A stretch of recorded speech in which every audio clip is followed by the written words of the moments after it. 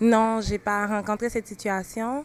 J'ai eu des textes que c'était le professeur qui l'avait écrit, mais c'était pas un livre à acheter. C'est arrivé très souvent au cours de mon, baccalauréat, oui, oui. Euh, donc, euh, au moins à trois reprises. Euh, en maîtrise aussi, deux fois au moins dans six séminaires. Donc, c'est quand même un tiers de mes cours qui m'ont forcé, en fait, à acheter le, livre du professeur en question.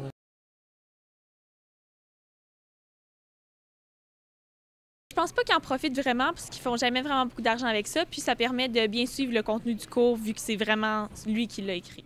Par exemple, ça va être souvent des, livres qui sont faits à partir de leurs propres notes, donc qui ont quand même rapport avec le cours, mais c'est souvent des livres très très chers euh, qui sont publiés euh, souvent avec les presses de l'Université de Montréal. Donc, euh, des fois, je trouve que c'est un peu dommage de forcer des étudiants à acheter des livres qui, euh, avec un minimum de 40 puis tout ça.